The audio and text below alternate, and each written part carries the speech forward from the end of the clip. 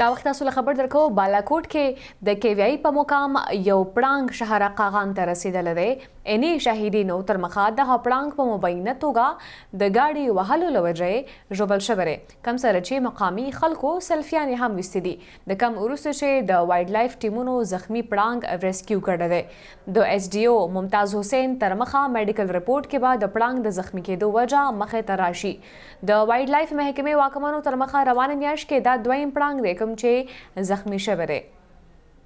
بالاکوټ کې د کیویایي په مقام یو پړانګ شهر قاغان ته راغلی دی. د عیني شاهدینو تر مخه دغه پړانګ په مبینه توګه د ګاډي د ټکر وهلو له وجې ژوبل شوی دی.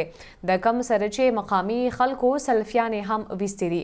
د کوم وروسته چې وایلډ لایف ټیمونو زخمی پړانګ ریسکیو کړی دی.